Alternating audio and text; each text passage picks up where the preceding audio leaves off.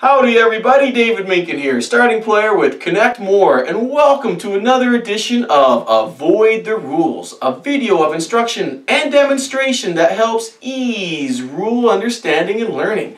Easy start. And today we are going to jump into the wild and wacky world of Ivor the Engine. Now, if you are a middle-aged, slightly balding UK individual who used to watch Ivor the Engine as a kid growing up, well then stop watching this video and just go play the game. Because A, you obviously like playing real board games because you're watching a video on board games. And B, this does a great job of reliving some of Ivor's tales. There's actually original artwork and new artwork in um, throughout the game for you to kind of get re-immersed and go down memory lane and think about Ivor the Engine. So that's all you need to know, you're good to play. What, what about the rest of us? What about those of us who did not grow up in the UK, who don't know anything about the uh, about Ivor the Engine? He only popped up on my radar. Why? Because there happens to be a great board game designer out there who's also middle-aged, slightly balding from the UK, who watched this as a kid growing up, who designed another train game, which I absolutely love, Snowdonia. And that designer is Tony Boydell. So because of this game, this game came on my radar. So I said, right, I know nothing about Ivor, but is this going to be a great game? And the answer is absolutely, it is a good game because if you think about it, is there a better person to design this game than Tony Boydell? He was a fan of the show to begin with.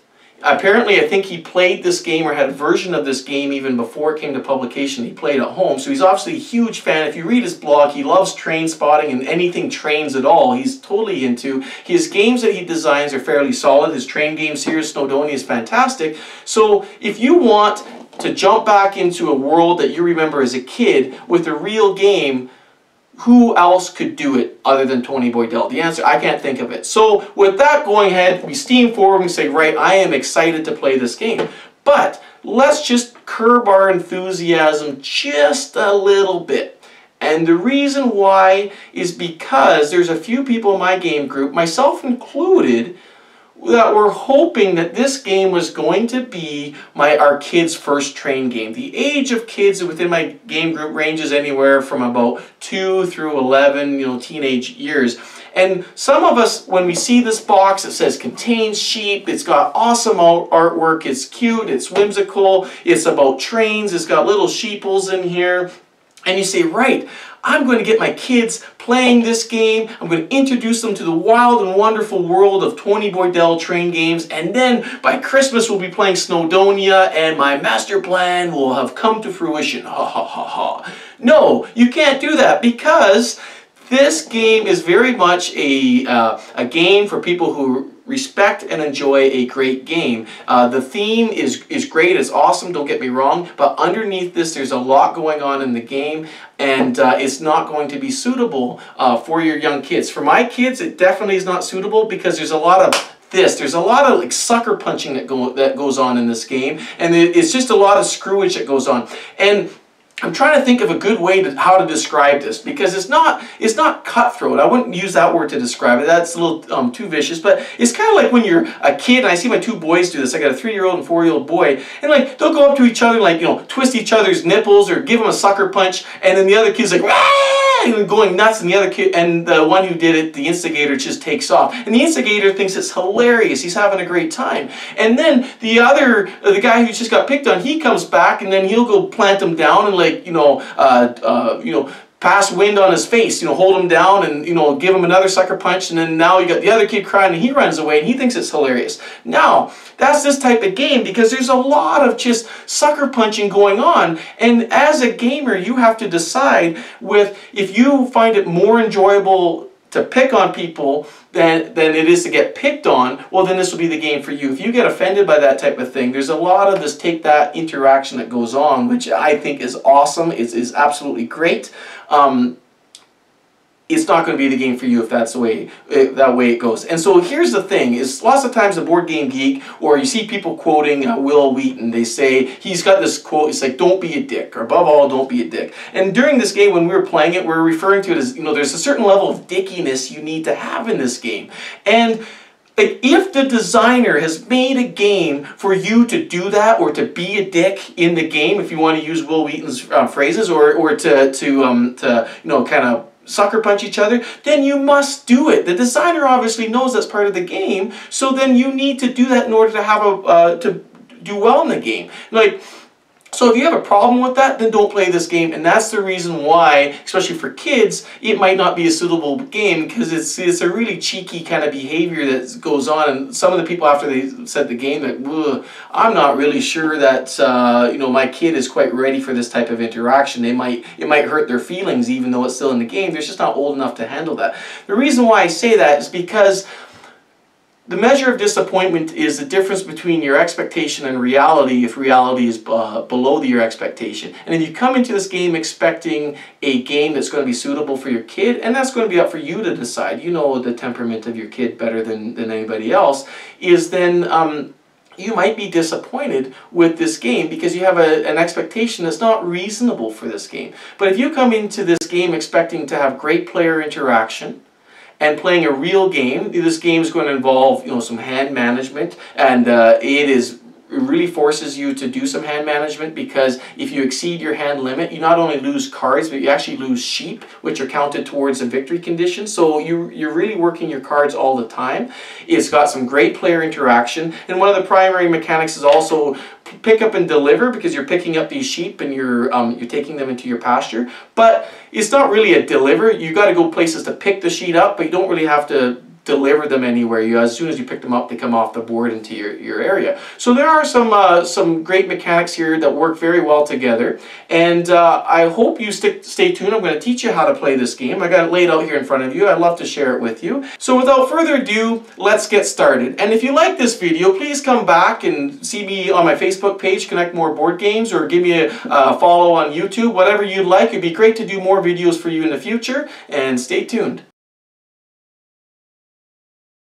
Welcome to the world of Ivor the Engine. Now before I get into the nitty gritty and the game explanation, I just want to do a quick focus here on the board itself. And I want to do that for two reasons. The first is I think that the board is gorgeous. I think it's got really nice artwork with it and it fits the theme really well. It kind of makes me wish that I grew up watching Ivor the Engine as a kid because I think I could really get immersed into this little, into this board. And if we just kind of zoom in a little bit and look at some of the details on the board, you know, for example, example, we go over there, we see there's a, it looks like a fox hunt going on next to the railroad line, and then we zoom a little bit further. I think we're going to find Ivor the engine here. Yeah, there's Ivor just chuffing away. Now, this is kind of funny because when I see Ivor just chuffing away there, you see that he's actually on a track going off the board. And if you follow the track kind of where he came from, it looks like he actually came from Ivor's shed, which is over there. And you're of sitting there like, hey, Ivor, we just made a game about you, and it looks like you're just chuffing away. Hey, well, come back, buddy this game's all about you.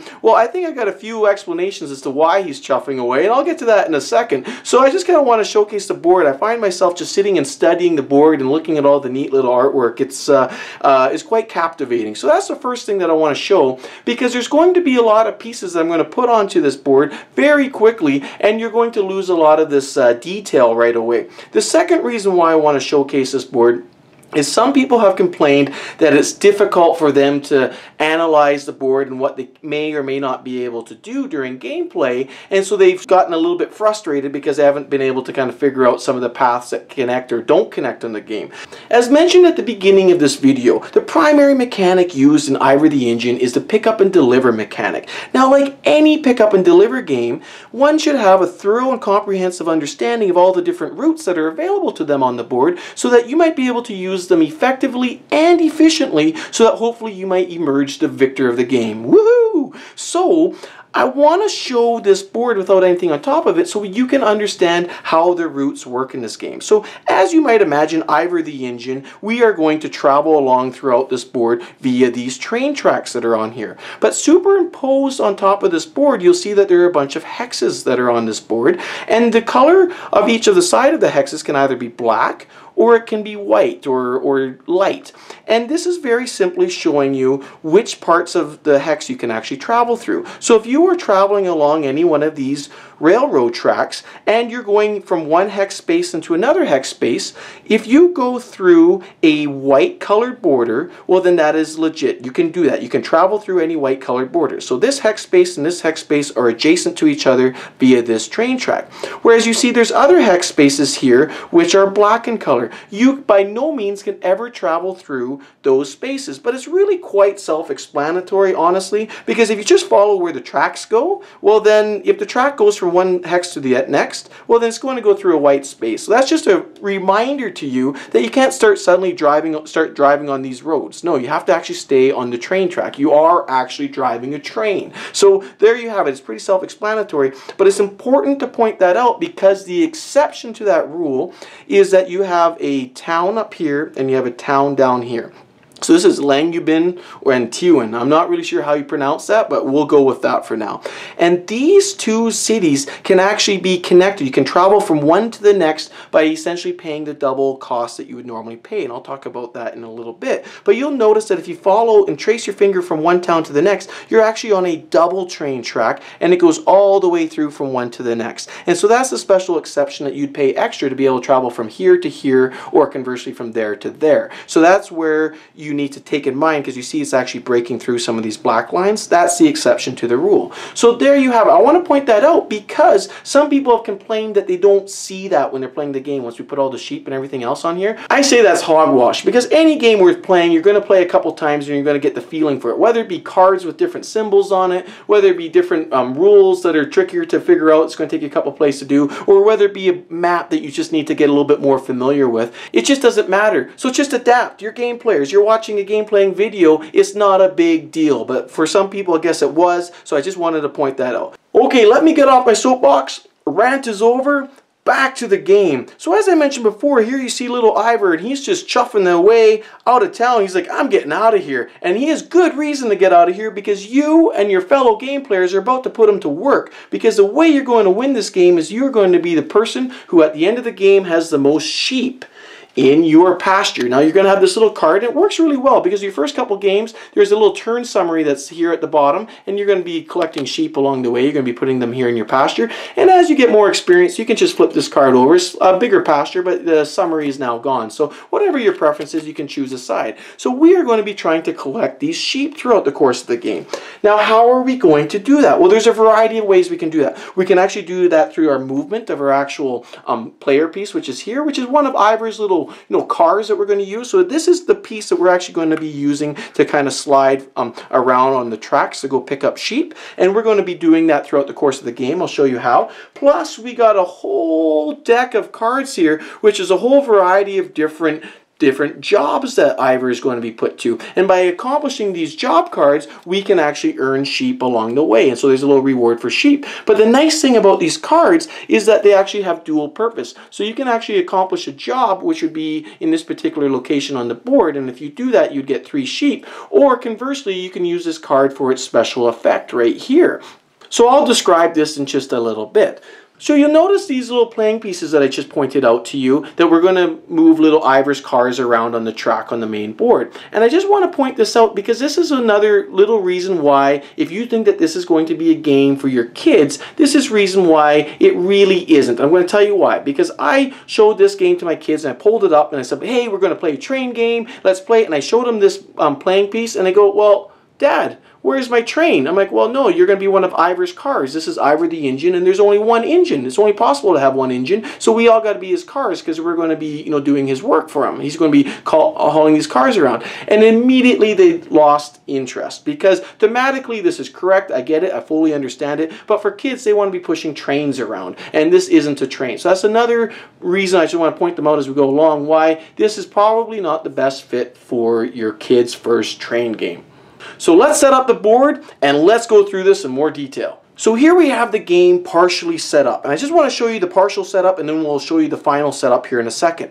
So what you'll see here on the actual board is I've taken, there's all these little tokens of sheep on there and you put them all so that the image of the sheep is actually face up in each of the hexagons on the board. And so once you've laid all these out, it's completely random, then you flip them over and you'll notice that there's actual number on the other side. And this indicates the number of sheep that you're actually going to put onto that space at the beginning of the game. So we flip all of these over like so. Then what we're going to do is then we're just going to take the sheep tokens or the sheep meeples that are available to us and we are just going to put that same number of sheep inside of that hexagon. So stay with me and I'll put the sheep on.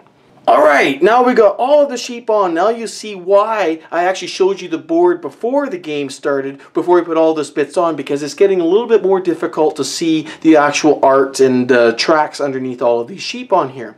But now what we're going to do is we're going to look along all of these tokens with the number on them, and any of the tokens that have a 0 or a 1 on them, we actually will now remove from the game. So we take these actually off, and it's actually really quite clever. I really like this part of the game. I'm going to describe why why we do this during the gameplay, but I'll get back to this, so stay tuned. So once we do that, we double check, make sure there's no zeros or ones left over. It doesn't appear as though there are. Now we take these numbered tokens again and we flip them back over back to the sheep side. So let's do that. So now we have all of the lost sheep tokens, which again are these tokens right here, flip back over. And the reason why they're still on the board will become very apparent when I describe to you the turn sequence. We'll get to that.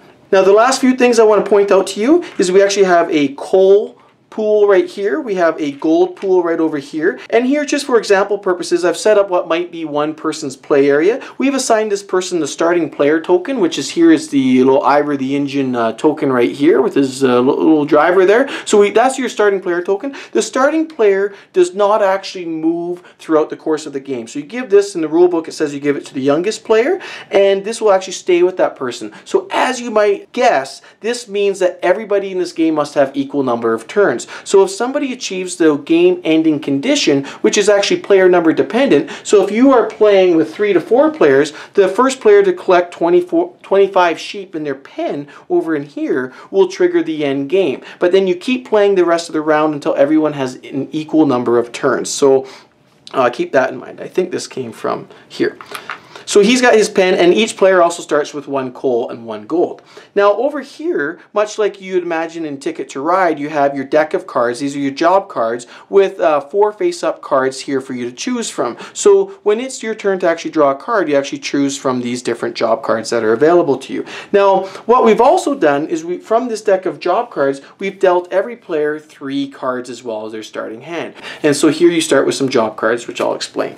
And now that we've done that, what we're going to do is we're going to take what are referred to as these event cards, and there's 11 of them. We're going to take three, we're going to shuffle them up, of course, and we're going to shuffle them up like this, whatever, doesn't really matter. We take three of them, we, we toss them in the box, like so, and then we take the remaining job card deck here, and we shuffle in the remaining eight event cards. So I'll do that now. Okay, so we're ready to play. So now what you do is you just simply take your player color, and we'll assume here with the starting player, he would be a black uh, little Ivor car right here, and you get to start choose your starting position anywhere you possibly want. So here we're going to put this guy here at Grumbly Gasworks, and let's assume we're playing with uh, two other players, orange and red, so you might choose to put one over here and somebody else might choose to go over here for example. So you're ready to start the game. So without further ado, let's play the game. So it's going to be Black's turn because he is the starting player and I always like to use these player aids that games give you so you can follow along so you know what to look at when you're actually playing the game at your own home. So the very first thing that you're going to do is you're going to take a sheep. So the black guy, he takes the sheep right here and goes, woohoo, I put that in my pen, I'm well on my way to victory. Now you'll notice that since this hexagon only started with one sheep, it does not actually have one of these lost sheep tokens in it. You'll recall that I actually removed those during the setup part of the game. And that's actually quite significant because when you take the last sheep from a hexagon, should there be a lost sheep token inside that hexagon, you also get to take that lost sheep token, add it to your playing area, and in addition, from the pool, you'll get two additional sheep that you'll get to add to your playing area as well. But since we there was no lost sheep token in this area, then we don't actually get that benefit. And that's really cool because what that does, it stops you from cherry picking the easy spots at the beginning of the game. Because since there were, I believe it was three spots that are either zero or one sheep in it, then you would see the obvious strategy then would be to immediately put your car where there's only one sheep and uh, and then get the bonus immediately the extra two sheep immediately for that uh, for emptying the last sheep from that hexagon but since there is no lost sheep token there. We took that off during the setup. There is no bonus to be had. So that was, uh, I really like how they've done that. So you can't cherry pick these spots. So the lost sheep tokens are only in hexagons that have two or more sheep at the beginning of the game.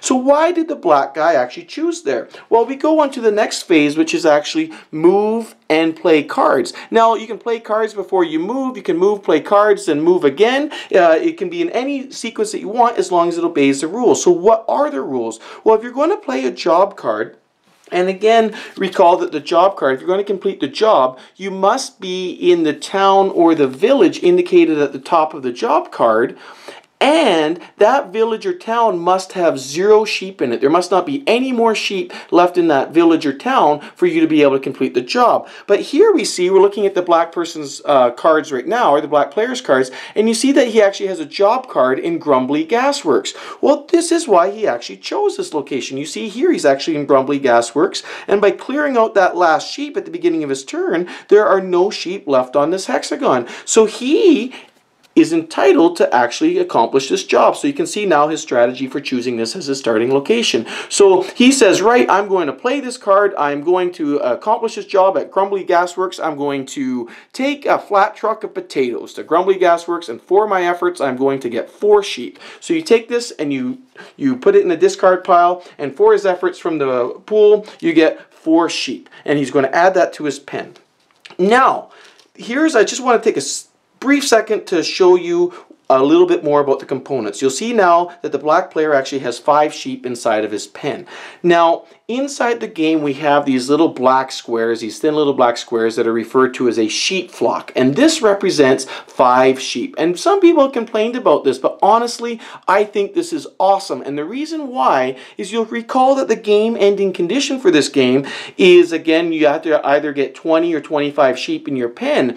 And so when you're playing with a bunch of players, and if they have a whole stack of sheep like this in your pen, you're like, what the heck? I have no idea. I can't count how many sheep that this person actually has because they're all stacked, they're all willy-nilly, and you're trying to figure it out. Is that person close? I'm not really sure. It's just a pain. And so I really, really like these. In fact, when we play, we insist that once you get five sheep in your pen, that you immediately trade it in for one of these so that when you're playing with everybody else, you can just see, just like when you're playing poker, if you see someone's poker hand across the table and they got their stack of chips up like this, you can just immediately look right away and go, right, that guy's got 20 sheep, and you know that you don't have to spend a lot of time analyzing it, and it doesn't drag the game down at all. So whether this was by, by design or whether this was just to cut costs, I don't know, and frankly speaking, I don't care because I think it's brilliant. I think it is absolutely brilliant to have these because it is a lot of counting involved with the game end, and when you see a big stack of all these sheep, it's hard to count from across the way. So now that he's actually got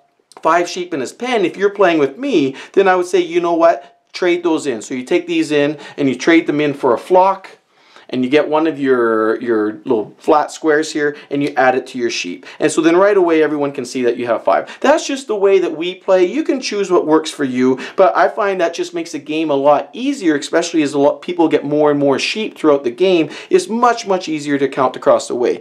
People are complaining they want big sheep. They want these big sheep and what the heck, let's draw some smiley faces on them and make them all happy. Big monster sheep walking around in Ivor's world. Sure, why, why not? These are actually from Animal Upon Animal animal. Uh, use what you want. You can substitute these in. To me, it's not a, a big uh, it's not a big deal. I like these. I like it's easier to count. Um, but if you want, you can find substitutes that will work just as fine. So that's just a brief comment about components. For me, I don't comment and I don't really dwell on components too much unless I find it helps or hinders the gameplay. And I actually find that this actually helps the gameplay by having these set up as these uh, these little um, rectangular squares are easier to count. So uh, great job. So anyhow, we've uh, accomplished your job here at Grumbly Gasworks and we can choose to move and we can get one free movement to any adjacent space. So again, we can move along the track to an adjacent space through one of these white space, one of these white lines on the hexagon. We move over there. Should we decide we want to keep trucking along, well then any additional movement from that free movement, one movement is free, would cost us one coal per space. So if we wanted to, we could spend another coal and keep chuffing along. And you can also, at any time during the game, you can take one of your gold pieces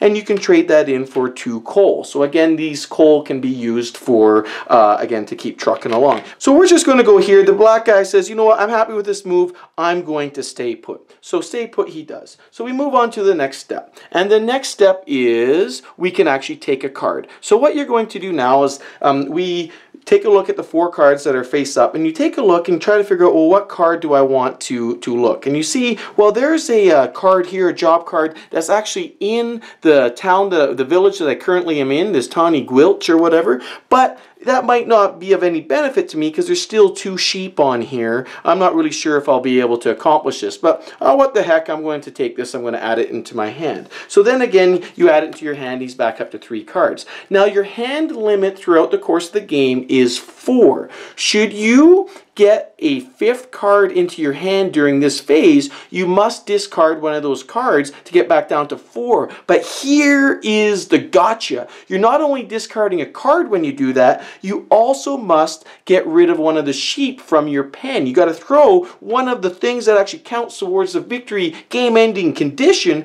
away. So in that regard, this game is really great because it encourages you and in fact I would say it forces you to play play these cards.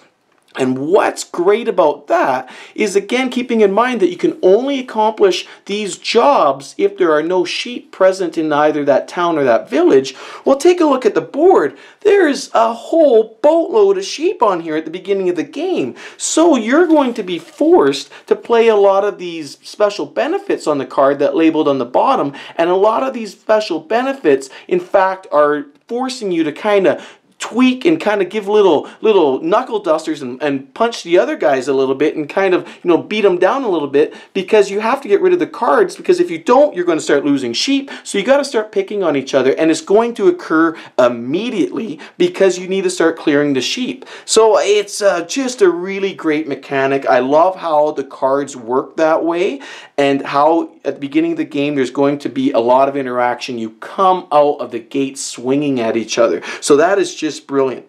So what you do is you take your card and then you need to um, replenish the deck. And woohoo, what we have here is what's an event card. You'll recall that I shuffled these into the, the um, deck earlier. And so when you reveal an event card, the event takes place immediately. So here we read the, the course of the event. It goes, when this card is revealed, Every player may take one sheep from their current location and put it into their sheep pen. Woohoo! Good news. Uh, it sounds we're all getting some sheep here.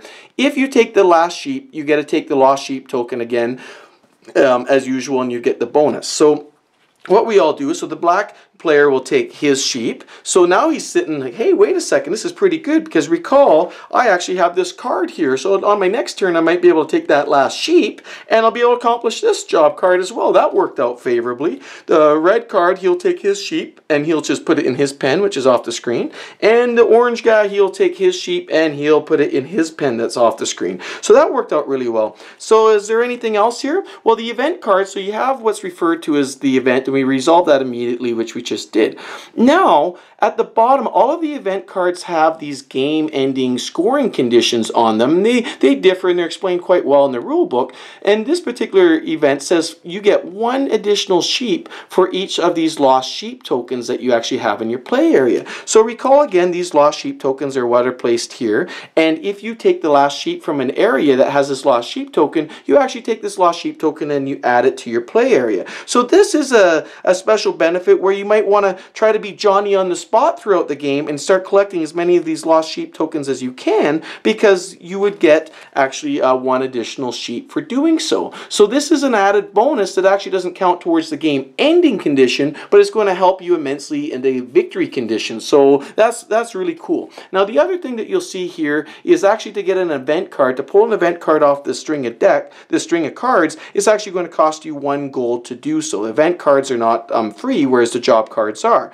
But when you do put an event card out, you also add a sheep on top of the card. So uh, so it, it pays itself off. So if you take an event card, you pay a gold, but you also get immediately a sheep to add to your pasture. And at the end of the game, any gold that you have left, you, you trade one gold for one sheep. So it, uh, it kind of pays itself off a little bit, but you would use gold to actually buy the event card. The other thing, as I mentioned before, you use gold to actually um, trade for two coal. So that's the other thing gold is useful for. And there are other event cards that actually have um, special bonuses for gold that you have at the end of the game. So anyhow, so we resolve the event card, we put the sheep on top, and now we're ready to move over to red's turn. So let me just play through red's and orange's turn very quickly and hopefully show you a few other little um, things in the game. So it's red's turn. So again, uh, he's going to take the first sheep, uh, take a sheep from the current position, and he is going to put it off to the side. So now it's red's turn to actually move and or play cards. And so he's looking at his current position. He's like, you know, I like being in Smoke Hill right now because on my next turn I'll be able to not only get this last sheep, hopefully if everything goes well, I'll also be able to get this lost sheep token and maybe I might want to try to get this event card later. So maybe that's something I want to go for.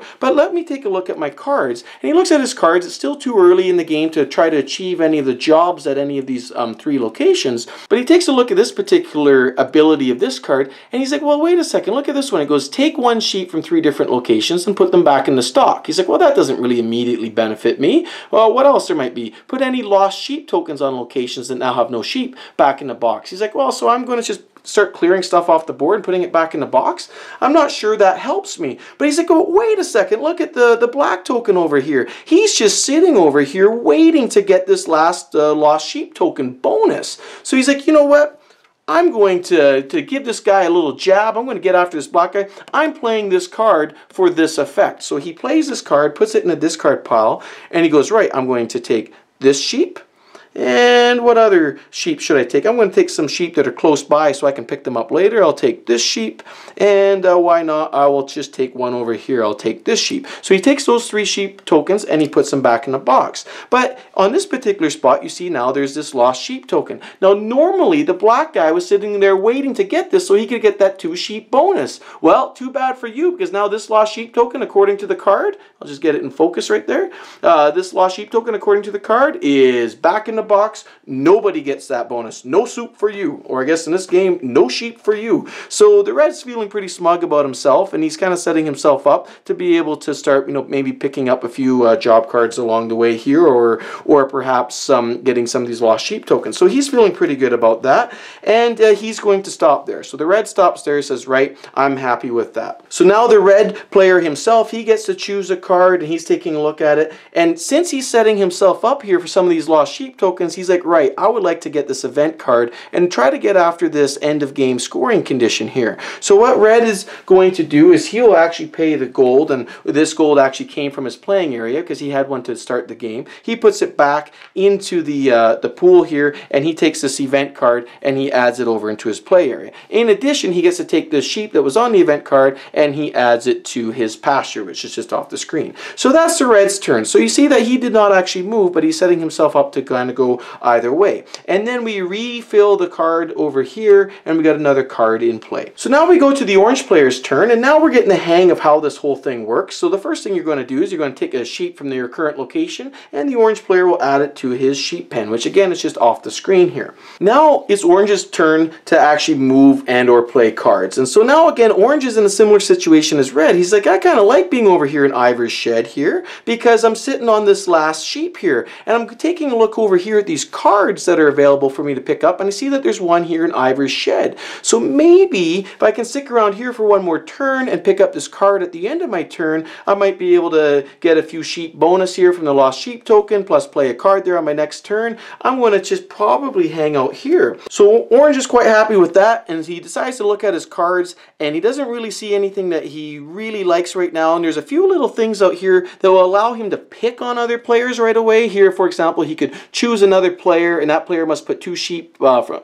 from the sheep pen back into the stock so he could start kind of start poking and prying at people and he looks over at Black and Black's already got lots of sheep. He's like well maybe that would be a good choice to do but he's sitting here he's like you know what I don't really want to annoy anybody quite yet because I'm kind of sitting on a little bit of a strategy here myself so maybe I'm just going to lay low this turn and that's a perfectly reasonable strategy as well. So then he decides you know what I am just going to stay put. I'm not going to do anything there because he sees now that to, for him to get a card, he's going to pick up the Ivor's Shed card, which is where he is right now, and he's hoping that he'll get a chance to play that this next turn. And he better play a card next turn because you see by picking up this card, he's now got four cards in his hand. So he's actually at his hand limit. No problem now, but on his next turn, if he doesn't actually play one of these cards, um, he is going to be obliged to throw a card away plus lose a sheep from his pen. So you can see immediately this game is going to force interaction. If you're trying to build up and sit low, lay low, and wait for a strategy to unfold, well, too bad. This game is going to say, no, time for you to deliver a sucker punch to somebody because the game demands it. And that is just awesome. There's no kind of sitting around laying low. Now, while I'm showing you these cards, the other thing that I find really cool about these cards is you can see that some of the original artwork, and you see this here in Ivor's Shed, has been preserved and is actually on the cards. And I think that is just awesome. I'm really glad to see that they've done that. There's also um, new artwork that's been done specifically for the game and you can actually when you closely examine the cards you can actually pick that out what's new and what's old and sometimes you're a little bit confused. But I can see how this game if you're playing this and especially if you watch this as a kid growing up I can really see how when you look at this you can really get lost into the world of Ivor. You can really take a look at these cards. For us we kind of found we're more looking at the cards and we're kind of you know examining them kind of asking questions. Like for example you look at this one you're like oh look at at that. You know, um, uh, why is Ivor steaming but not the teapot? Are they having cold tea? You know, so so we were kind of more looking at it from that perspective here. They're kind of having their tea there, and why is this guy's head so crooked? Is he confused? And so so it was kind of fun, you know, for us to kind of go through these things, and and especially this uh, this little dragon guy here, Idris. Uh, we're not really sure what to make of this guy. Apparently, he sings in the choir, but uh, it was quite a lot of fun to actually look through these cards and see what's going on and, see, and try to imagine what the world of Ivor was like. So enough about that. So the uh, orange player is taking these four cards, put them in his hand, and then he is going to reveal the next card. So here again, we reveal the next card, and we go back to the black player's turn. So around and around we go until finally somebody reaches the game ending condition. We finish that round and then we score any bonuses that people may have had on their event cards. We also exchange our gold, one gold per sheep, and then the person finally at the end of that who has the most sheep is the winner. Now I should also mention just a few final bookkeeping details. Should you ever have three event cards in the uh, the face-up cards here, you clear all of the face-up cards and you reset that. Again, that would be very much like Ticket to Ride. In Ticket to Ride, whenever you have three of those wild or engine cards um, in the face-up stack, you clear them and then you replace them. So you apply the same methodology here. There are also a couple tokens included in the game which I have not mentioned. Here we have this uh, Sleeping Idris or Sleeping Idris uh, Dragon uh, token which tells you to miss one turn and we also have what are referred to as these kind of these uh, runaway uh, sheep tokens. Now these tokens come out when special cards are played and I'll show you what those cards look like. So there are two cards in the job deck which show the Sleeping Idris token on them. So should you play one of these job cards for its special ability at the bottom here, you would actually then take this token, you add it to your playing area, and it just reminds you that on your next turn you're actually going to miss your turn. And the reason being is that the special ability here at the bottom of the card is actually quite powerful, and it's so powerful in fact to kind of, you know, balance the game out a little bit more, is that you'll actually miss your next turn. So you'd actually take the token to remind yourself that around the next turn you don't take it. But you see, these are pretty big cards altogether because even the jobs themselves, should you be able to accomplish them,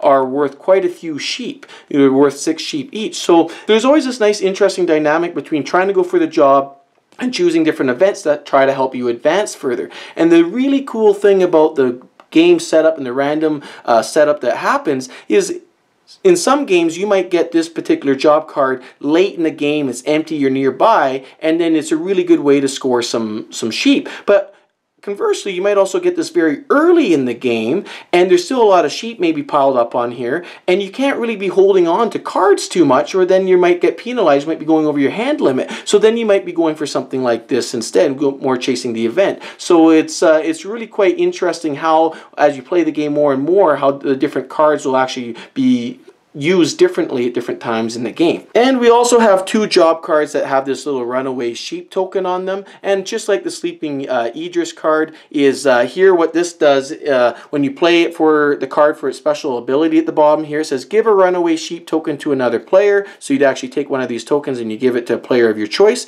Until the end of their next turn, that player must put any sheep they receive back into the stock instead of into their sheep pen.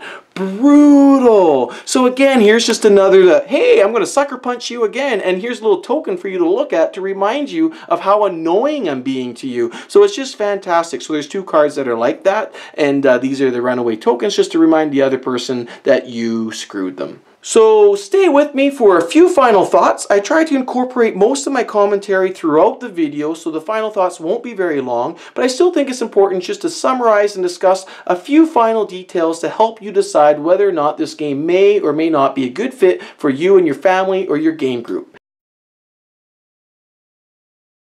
So that's it. Welcome back. I don't have much to say for my final thoughts because I covered most of it at the beginning of the video because I wanted to set our expectations before we got nitty gritty and rolled our sleeves up and really got after it.